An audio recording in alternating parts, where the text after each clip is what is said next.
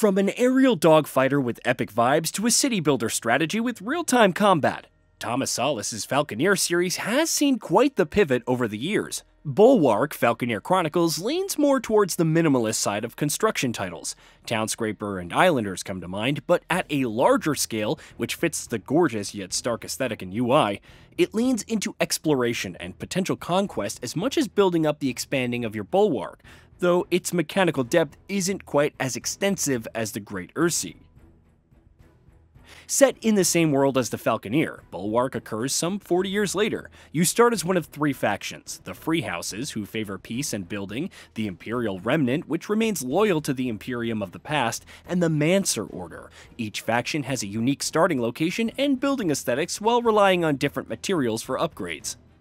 After setting up the requisite resource extractors for iron, stone, and wood, you need workers. Build out towers and walkways to ensure a steady flow towards resource nodes near your settlement while ensuring said workers can travel to and fro. Expand this into a proper city and build harbors to transport some resources over larger distances. Hire captains who specialize in ferrying certain materials and establish supply routes. It's all standard city building fare, but stripped down and streamlined. While you're encouraged to build indiscriminately, I'm quite proud of my spiderweb of walkways. There are some limits. Bulwarks are built on sheer mountainous terrain or the Ursee. The latter's depth means that you have limited space for expansion. However, outposts can be upgraded while towers gain multiple floors and assigned commanders, while walkways turn into battlements.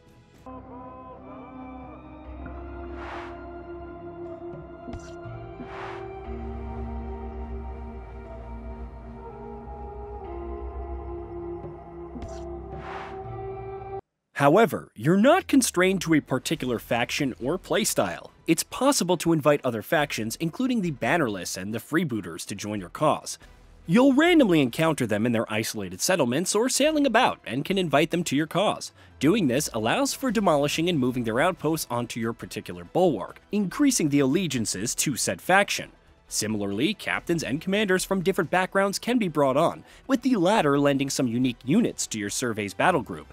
You may even encounter captains with warships who can help secure your supply routes from raids.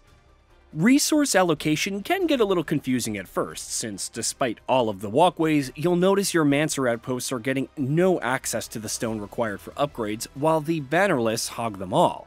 The good news is you can demolish and rebuild your bulwark as you see fit, repositioning specific outposts closer to harbors and bringing in certain resources without any material consequences.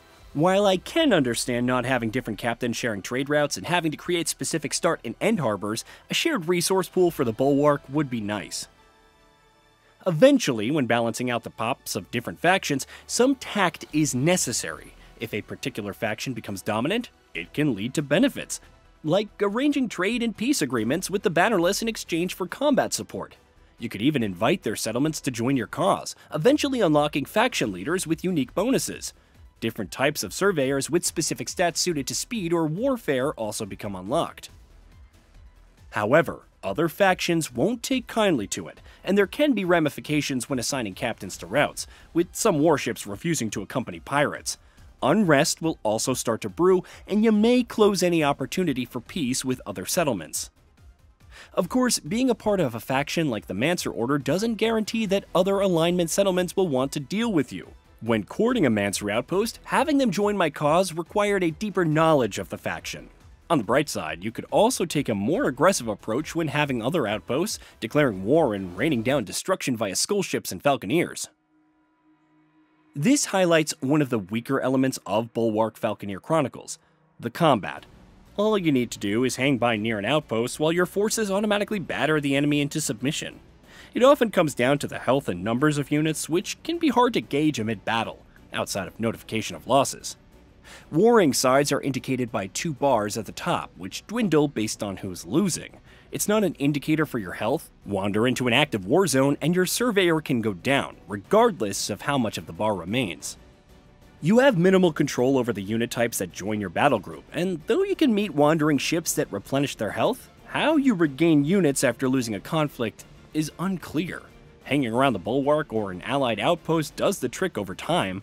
As overly simplistic as the combat can be, accessing mythic units like a giant seafaring turtle with armaments that can intimidate other faction outposts into surrendering, that's really cool. However, once you've provoked the ire of other factions, they won't stop sending warships. The only option left then is to venture to each of their cities and force a surrender. Some more diplomatic options would have been appreciated even if there's a point of no return. Translating a city builder to the controller, even when as streamlined as Bulwark Falconeer Chronicles, can be difficult. While the controls aren't complex, they can be awkward. You don't freely move your surveyor, specifying spots for it to move to instead. If an interactable icon pops up, like building a harbor, outpost, or resource extractor, a single button press is enough. However, this becomes more unwieldy as your bulwark is more developed since it's sometimes all dependent on the position of your cursor. You can switch to the buildings themselves, which is necessary for upgrading them, and extend nodes from outposts to create towers and snap them together intuitively. However, you manually hop from building to building to achieve this, extending your cursor each time and hitting the confirm button. A free cursor for scanning the bulwark would have certainly made things easier. Also, an option to automatically upgrade all walkways into battlements and some details on how some of the unique buildings like surveyors worked would have been nice. Though the gameplay loop can feel simplistic at times, it does shake things up as you fly through the Great Ursee, encountering random individuals and adding them to your settlement or discovering ambushes and fighting them off. Yet, with how gorgeous the aesthetic can be, especially with different weather and lighting effects, whether it's storms or mists as you sail past like the Shard or bask in raging volcanoes, it's a shame that the narrative elements and characterization are surface level at best. At least there's a free build mode for those who want to build and create massive bulwarks that are a sight to behold.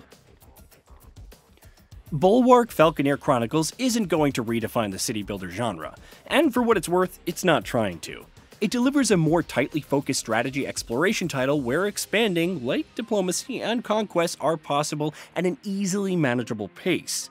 Additional control options and combat information are desperately needed, and it feels like the setting could have offered more beyond its current narrative confines. Yet, as far as city builders go, it's solid, easy on the eyes, and enjoyable to delve into.